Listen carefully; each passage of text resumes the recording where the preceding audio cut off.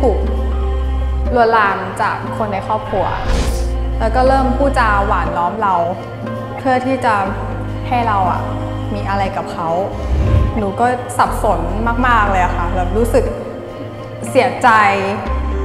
หวาดระแวง หวาดกลัว แล้วก็ผิดหวังในตัวเขามาก ๆอะค่ะ ค่ะ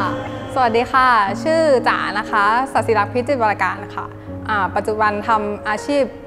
กราฟิกดีไซน์ที่บริษัทแห่งหนึ่งค่ะ ก่อนที่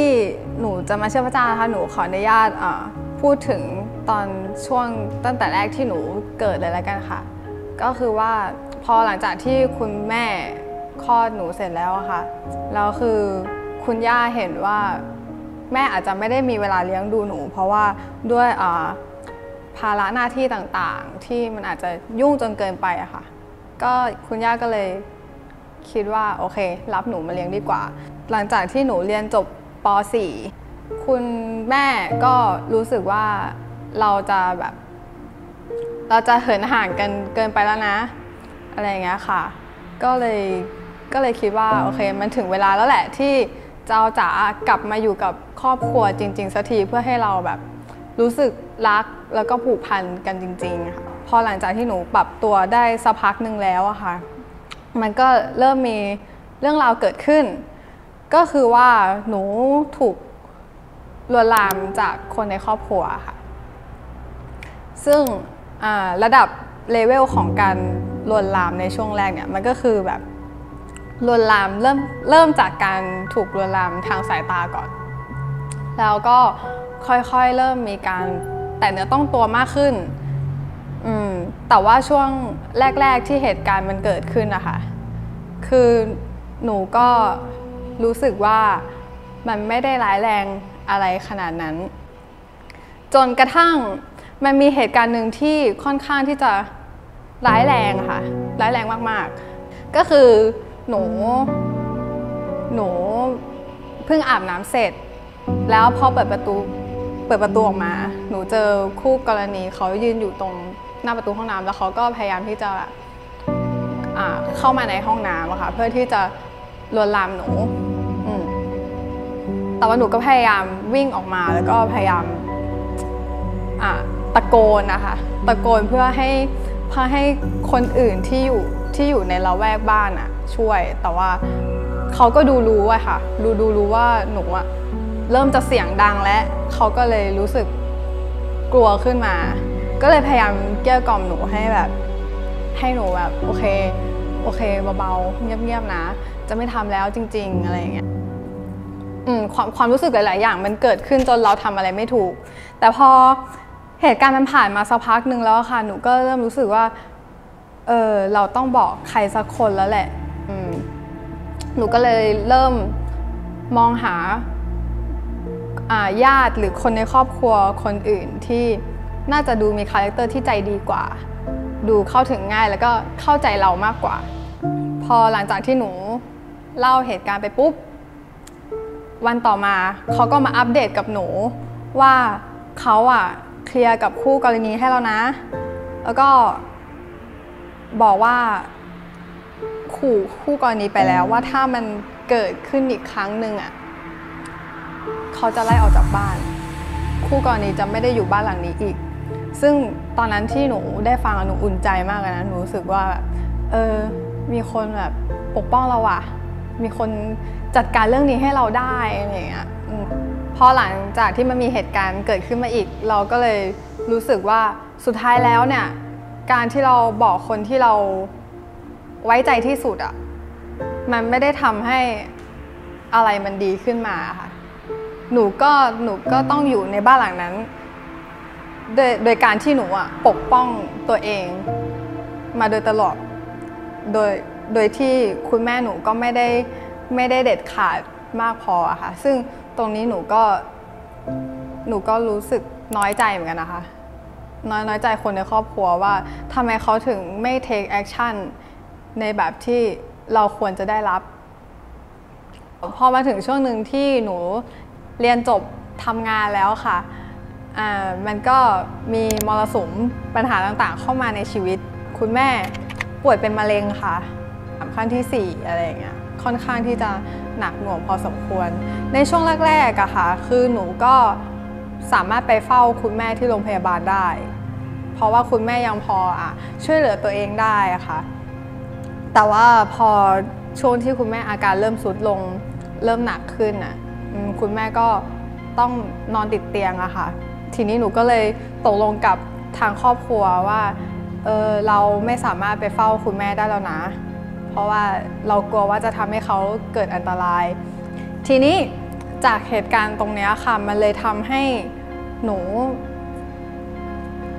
มีโอกาสที่จะอยู่กับคู่กรณี2ต่อ2ในบ้าน ซึ่งพอมันเวียนมาถึงวันนั้นนะคะมันก็ มันก็เกิดเหตุการณ์ขึ้น เขาก็เริ่มใช้คำพูดไปในเชิงที่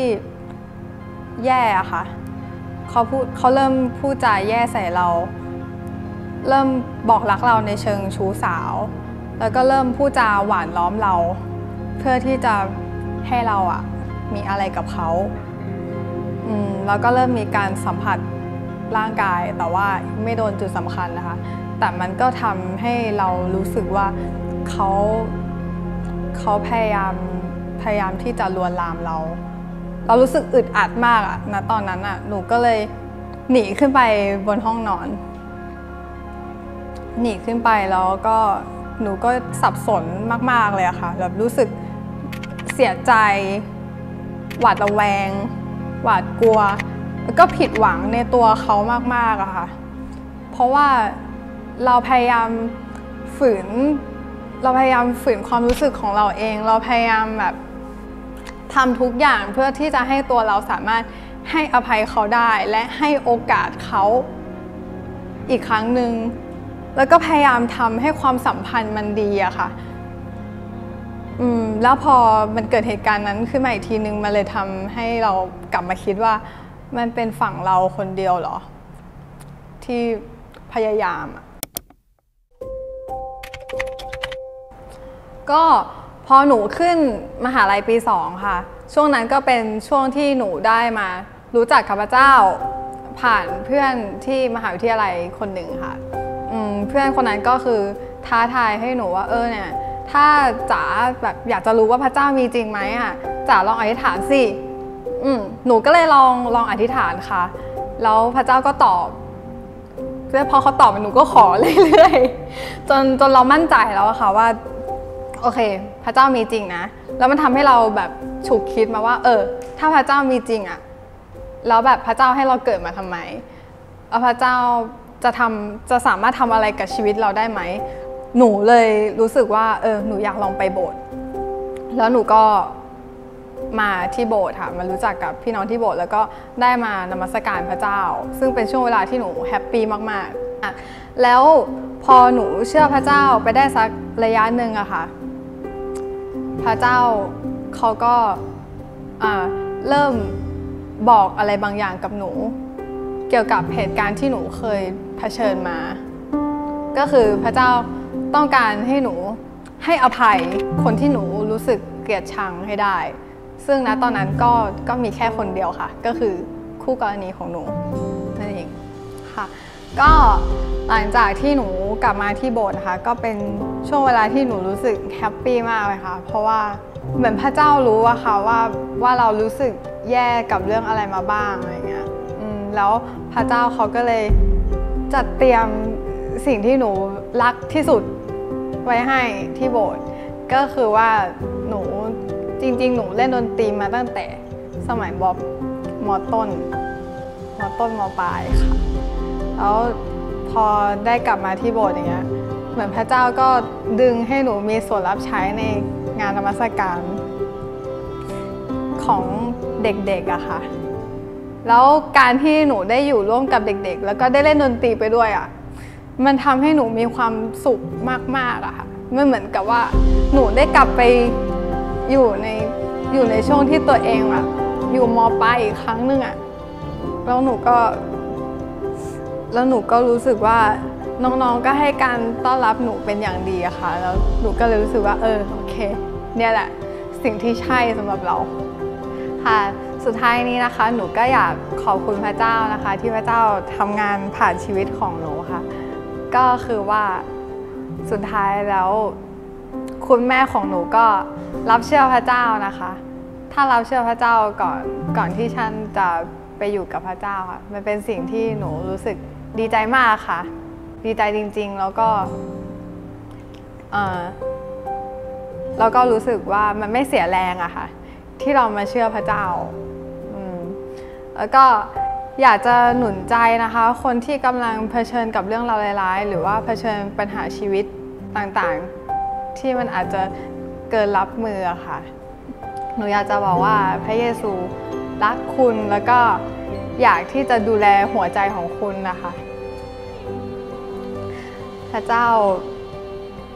าพระเจ้ารู้นะคะว่าคุณต้องการอะไร แล้วก็พระเจ้าก็จัดเตรียมสิ่งที่ดีที่สุดไว้ให้คุณแล้วค่ะ